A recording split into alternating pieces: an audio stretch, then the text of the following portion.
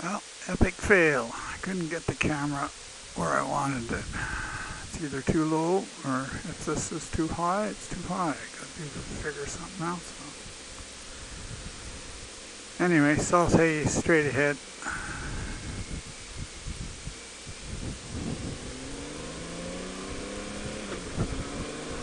It's 875 north now.